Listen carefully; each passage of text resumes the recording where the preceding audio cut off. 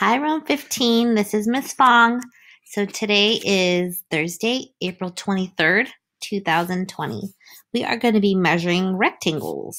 So this whole week we have been working on measuring um, different shapes um, and finding the area. So today we are going to be just focusing on measuring um, rectangles.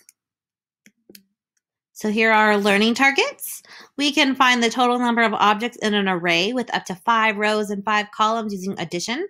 We can write an equation to represent the total number of objects in an array with up to five rows and five columns as the sum of equal addends. Um, and then we can partition a rectangle into rows and columns of same size squares.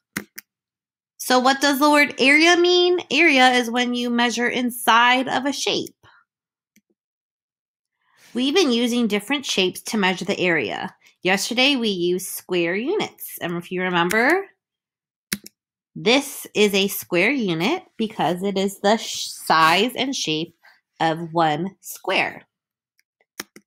So we are going to continue to use square units today to measure different rectangles. And then we're going to be looking at arrays. Um, so we're going to apply our knowledge of area, which we've been focusing on all week, square units, which we learned yesterday, and arrays, which we have learned um, throughout the year, but also we kind of touched on arrays yesterday. So, what is an array? Arrays are when squares are composed into equal rows and columns to create a rectangle. That should say a rectangle. Sorry, my friends. So here we have a rectangle. And a rectangle, remember, is a quadrilateral because it has four sides and four vertices. And then if you can see, we have our square units. And then we have um, the squares composed to create that rectangle. So let's take a look at um, and remind ourselves and do a little review of what rows and columns are because if you have rows and columns, then you will have an array. So let's review rows and columns. So here we have our rectangle. And if we have rows, rows go which way, my friends? Think about it. If you said left to right, you are correct. Woohoo! They go from left to right. So in this case, we have two rows, one on top and one on bottom. We have two rows and we have three in each row. So it is two rows of three, or we could say three plus three, which equals six. And that would be our total um, area for the for the rectangle if we were just looking at rows. If we were using columns, columns go up and down, kind of like a pole in a building or like a column of a building. So if you look at the array, try to ignore that red arrow. Let's just look at the columns. So since columns go up and down, we have one, two, three columns, but we have two in each column. So that would be three columns of two. And then if we were to write a repeated addition equation, it would be two plus two plus two, which equals six. And that would be our total area. So now let's take a look at um, this grid paper. Okay.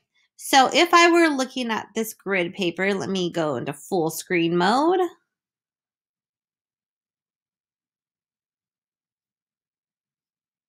Oh, sorry about that, my friends. Okay. Okay, much better. So this is a grid paper. So now we can see all these squares that are put together. These are our square units. And I'm going to pull some squares and I'm going to create an array. I want an array that has um, 10 total squares, okay? So I want to make sure that my rows and my columns are equal, which means they have the same amount in each row and column. So if I took 10 squares, I'm going to start. I could form my array or my rectangle shape using five on top and five on bottom like this. And if you can see, I'm starting to form my rectangle. So there are 10, 1, 2, 3, 4, 5, six, seven, eight, nine, ten. So take a look at the rows. I have two rows, two rows of five. So I could write my equation. I could write 5 plus 5 equals 10. Or if I took a look at my, so this would be rows. Hope you can read that. And then if I'm using columns, oh my, hang in there with me while I write the word columns. This is a much longer word. All right, we did it. Woohoo! So I look at my columns. My columns go up and down. So I have one, two, three, four, five columns. So I have two in each column. So I'm going to write the num add the number two five times. One, two, three, four, five, which equals two, four, six, eight, ten. So as you can see, my friends, the area in rows is 10 and the area using columns is also 10. So no matter how you look at it, either rows or columns, the total area should always be the same because you will always end up with the same amount of shapes. Okay? I have another array here just to look at it. So this array, it's a rectangle. This array, it's also a rectangle. Okay? So right now we are looking at rectangles. So here my array has three columns. I have one, I'm sorry, three rows. I have one, two, three, four, one, two, three, four, one, two, three, four, four in each row. So I have four rows of three.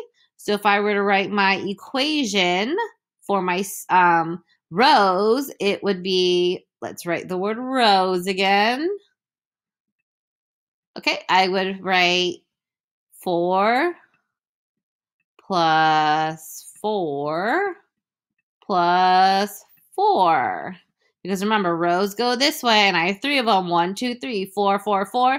Four plus four is eight. Four plus four, I mean, eight plus four is 12. And that should be how many I have. One, two, three, four, five, six, seven, eight, nine, 10, 11, 12. We are correct. Oh my, let's write the word columns again. Let's take a look at those columns. Why don't you look at them while I'm writing the word columns? Take a look at that array. All right, do you have the number of columns in your mind? If you said four, you are correct. Woohoo! So I have four columns one, two, three, four.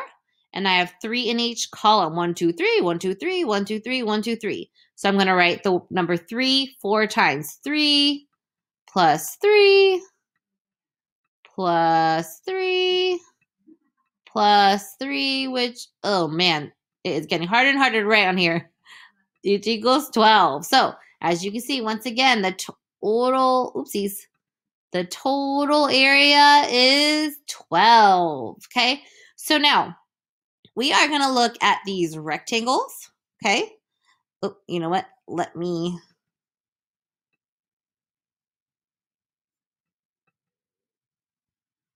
Let me clear this. Okay, so we are going to be looking at this these rectangles. So now these rectangles, we are going to measure them using square units, okay?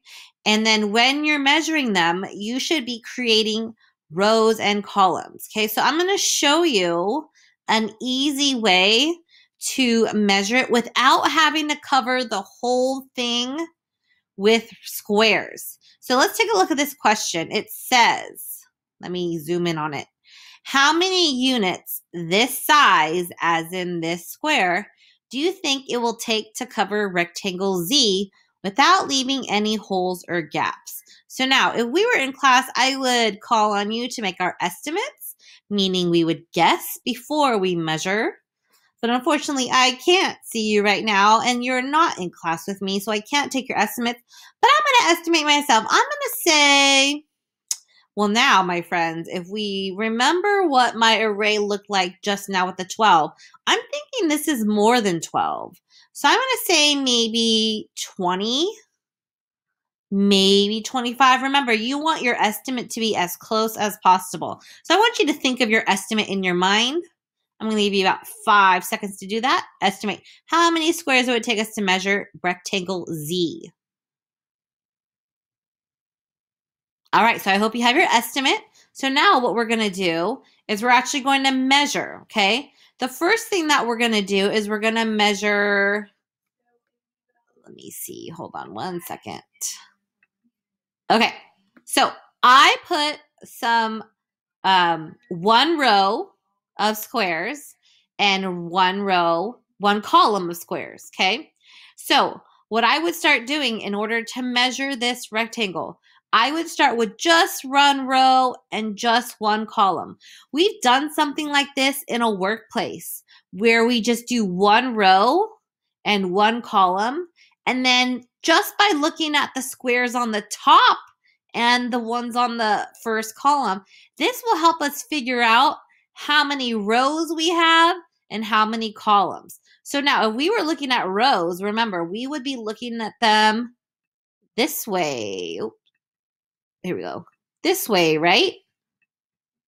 So this would be the start of one row because it would continue that way. This would be the start of one row and it would continue that way. This would be another start. And then we already have our top row. So look how many rows that we have. Let me erase this so it's not in our way. So how many rows do we have? If you said four, you are correct because here's one, two, three, oops, four. Sorry about that. Okay, so we have four rows, but then we have to look at the top row to see how many we have in each row. Okay, so remember my estimate. Let me fill that in because I think I accidentally cleared that out. So if I were to write an equation, now look how many I have in this top row. I have one, two, three, four, five. So I have five in the top row, do you think that that means that I would have five in each of these rows that are not filled in all the way? If you said yes, you are correct. Very nice. So I'm going to write five for my equation plus five. And I write five four times because I have four rows of five. One, two, three, four.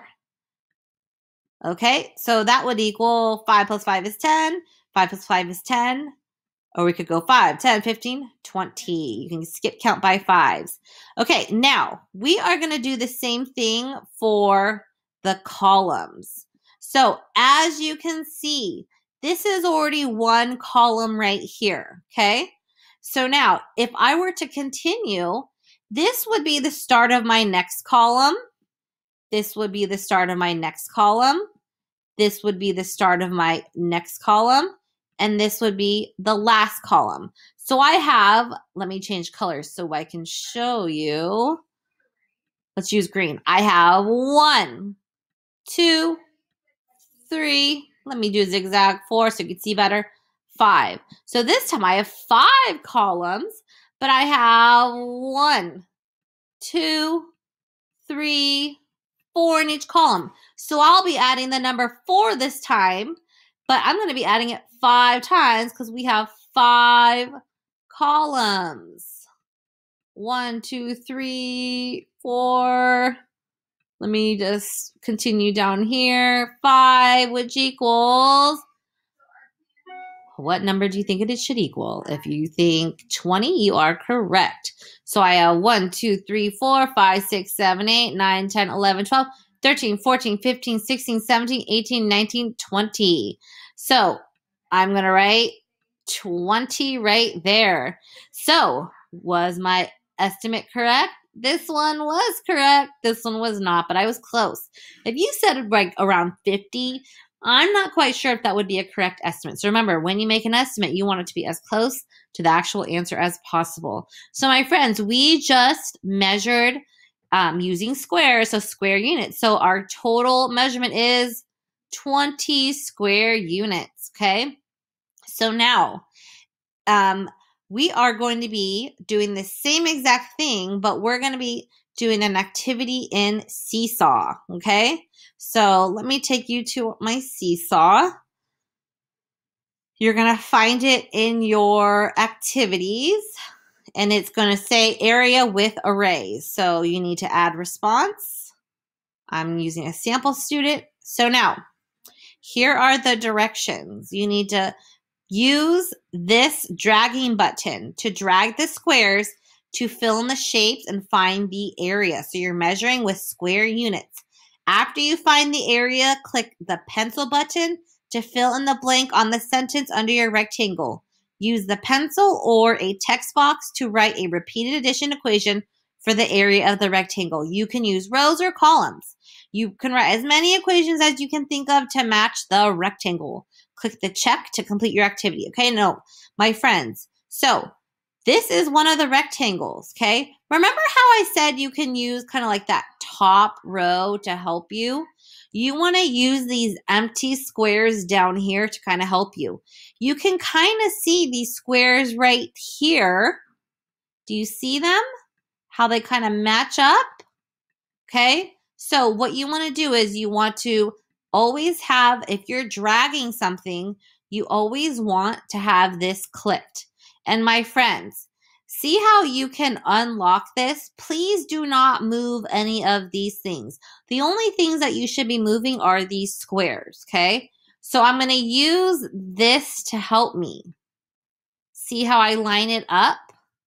And you're going to cover the whole thing with these squares to measure the area. Now, in my example, we were only doing one row and one column, but this time you actually are going to cover up the entire square. Okay? So, and then you want to use these blank squares on the sides on the paper to help you. Okay, this is called grid paper. And now you want to try and not have as many gaps like I do, but we're all trying our best here, okay? If we were in class, we would actually, oopsies, we would actually just color this in. But since we're using Seesaw, we're going to try our best to drag it in without any of those gaps, okay? All right, so now you need to use a pencil to fill in equations. You can fill in for the amount of rows. Okay. And then you want to see how many you have in each row, or you can write another equation to write how many are in each column. Okay. And then if I'm going to challenge you, if you want, okay, I'm going to go back and show you how to use a um, addition equation. So let's go back to this. So if I'm using, I'm, I'm sorry, a multiplication equation, okay? So now, if I am using multiplication, so if you want to challenge yourself and you want to start learning multiplication today, which we've sort of talked about, this is your chance, okay? So now you would have a number right here, the multiplication sign, a number right here, and then the total number of squares or objects. So in this case, it is 10. Okay. And if we are doing rows, so you would have, you can have two different equations, one for rows and one for columns. Okay. So now it would be the same thing. You would have a number right here, the multiplication sign, a number right here, and 10. But it would be different. So if we're looking at rows, we have two rows, okay? And then in, we have five in each row, just like our equation says over here. So let me change my color, okay? So since we're adding the number five two times, okay, you would write the number five times, oopsies, sorry, my friends. Let me see how to get out of this. Uh-oh. I don't know what happened there. Give me one second to figure this out.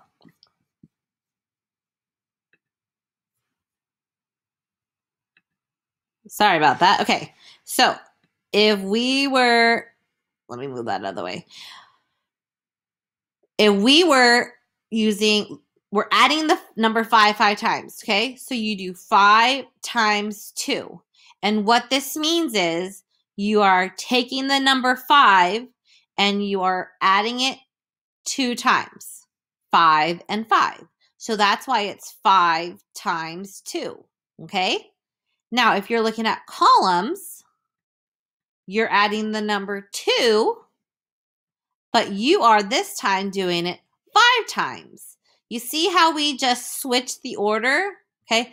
Multiplication kind of acts like addition, where you just flip it. Okay. So now you don't have to use multiplication if you don't want to. Okay. You can if you want to challenge yourself. Now let's go back to the assignment. So after you do this, you have to write equations and then you need to write your answer here. You need to do that on page two. And then you need to also do it on page three. Okay, my friends? So you need to cover up the squares, the rectangles with the squares, and then write your equation and then check when you are done. All right, good luck.